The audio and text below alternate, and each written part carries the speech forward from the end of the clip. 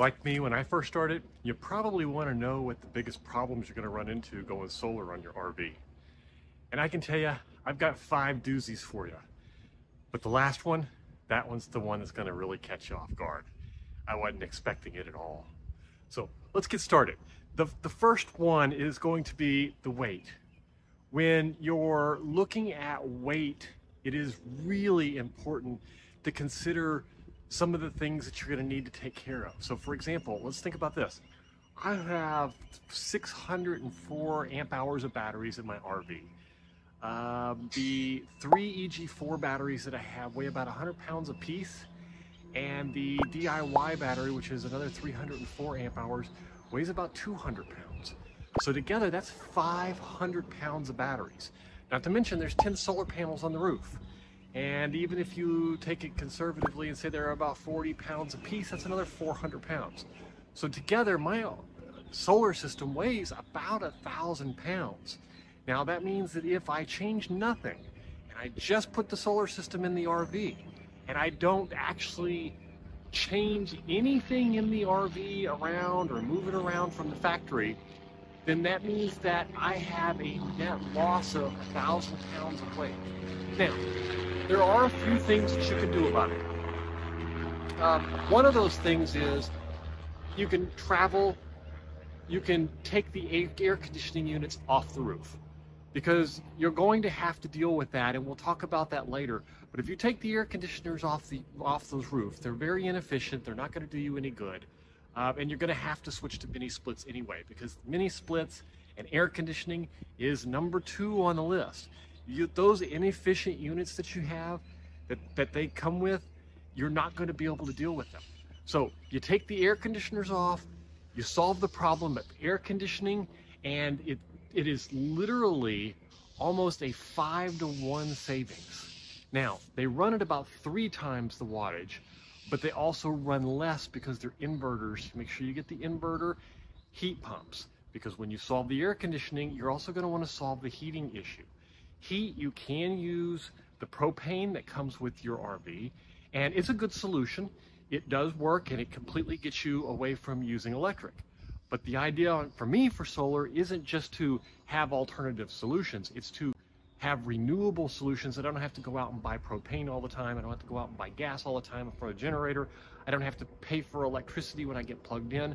I can go out and, and boondock and I don't have to worry about it. So you, you can deal with it with the propane, but my suggestion is, is that you deal with the weight first by eliminating the air conditioners. The air conditioning and the heating element, you deal with by throwing those out, patch the holes up, put panels up there, put more panels, and if you have more panels, you can deal with it. Now, the savings on the air conditioners is pretty significant. Uh, so you're you're looking at, and the heat pumps work fantastic as long as you get inverter uh, versions. So that is the the first two items on the list.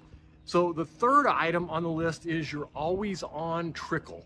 Now the always on trickle is a really hard one to deal with because what this is referring to, and let me kind of give you an idea of what I'm talking about. When your system is on, you're using power for simple things if you have your laptop plugged in, if you have your TV plugged in, you have, uh, you know, the coffee pot sitting there with just a, the time on it, the microwave is sitting there with a time on it, and all of this trickle power can really add up. In my case, the trickle power or the always on power or the idle power or whatever you want to call it, just from you, from, from, from devices pulling from your system adds up to about 250 watts. It's very much, in my case, it's very much like a house.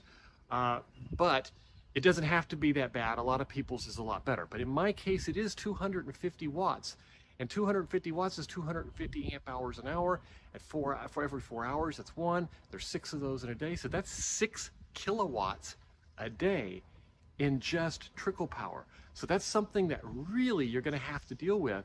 And you need to cut back on those devices, find ways to shut things down, turn off items, or make sure that what you have up there is a lot of solar panels. And in my case, I have 3,700 watts. So I dealt with it that way. I dealt with it with more solar panels. I dealt with it with more battery space, 31 kilowatts of battery space, and 3,700 watts of solar panels up there. And then as you've seen in many of my other videos, my solar shed. So the solar shed's another 3,000 watts of panels, but those 3,000 watts of panels don't quite generate that because they're mount, some of them are mounted vertical in order to allow me to keep it here. Now, all of that said, that covers the first three items on the list. Now we can talk about the two really big ones. The next one is hot water. Hot water is probably one of the hardest to deal with. And in my case, hot water runs between 1.5 and 3 kilowatt hours of 3 kilowatt hours of power a day.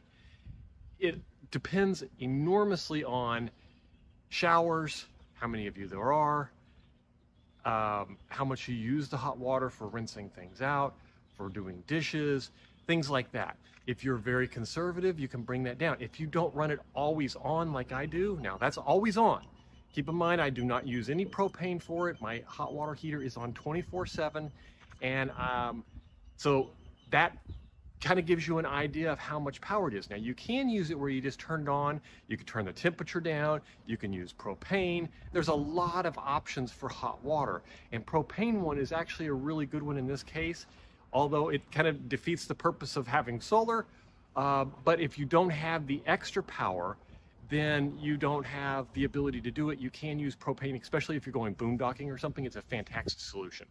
For the non, for the permanent location type scenarios, I use the solar shed. The solar shed brings in between five and seven kilowatt hours a day. And those, that power takes care of my idle consumption, most of it at least. And it also takes, it takes care of my hot water heater. During the winter, I usually have to turn those down or turn them off or at least be selective about my hot water heater. What I'll do is I'll know if we're taking, if we're gonna take shower and do the dishes in the evening, I'll turn it on late in the afternoon, let it get hot, we'll do those things and then I'll shut it off and it'll remain off for the next, you know, 20, 22 hours of the day. So that's the way you can do it. The, um, so basically you're dealing with those four big items. The weight, you gotta worry about how you're gonna how you're going to take care of the weight situation. Then the next one you want to look at is the always on or the air conditioner and the heating section, and then the always on trickle power and the hot water heater. And then the last one, which is the doozy, and I would have never suspected it. I have an all-in-one 6000 XP. And when the, no matter how much power you have up there, the more power you pull in up there, the more power it uses to convert it to battery. And when it gets converted from battery, it gets converted back to AC, the more it uses there.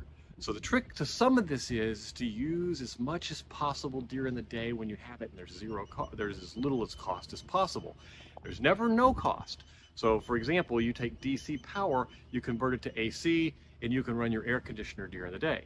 That costs less than taking that DC power, taking it, putting it into your battery, where there's some loss, then taking it out of your battery where there's more loss, and converting it to AC where there's more loss, and then using it. So what do you want to do is you want to use as much of it as possible during the day, but you still need to be able to use it during the night. So these are the five things, and that last one is really important. And I'm talking about an all-in-one so please keep in mind, if you have separate units, you're gonna have a cost for each one of them. The inverter cost to just run idle with nothing, nothing there. You're gonna have the charge controller when it's charging, how much does it take to actually do the conversion and put it in there? You're gonna have different devices that are, that are different uh, efficiency levels, and you're gonna need to take all of those into account. That's my five. I hope those help. Make sure you join us on Sunday for our new live, um, what are they calling it, live stream. And also sign up for the email list below so that you always get the extra content that I might be posting for some items. Sometimes I have parts list, I have a checklist, I have, you know, images and diagrams and all that kind of stuff. Those will always go out in the email list from down below. But if you're not signed up, you don't get them. Anyway, thanks to all of my subscribers. This last month has been fantastic and I will see you on the next video.